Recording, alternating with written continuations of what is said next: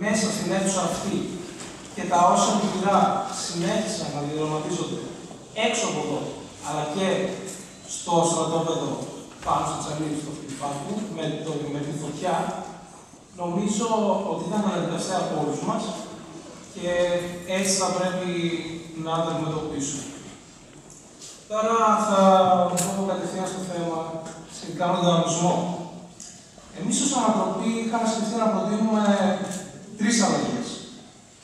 Η μία είναι η ίδια με αυτή που προτείνει και ο Δήμαρχος ο Θωμάς Μαστηράδης, στο β' μέρος, στο χωρίο 4, σχετικά με το σεβασμό του ωράριου και προσέλευση των συμμετοχόντων.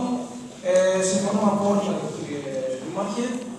Παρότι δεν είχαμε συμπεριλάβει το 15 λεπτό, πιστεύουμε ότι είναι μια σε σωστή κατεύθυνση.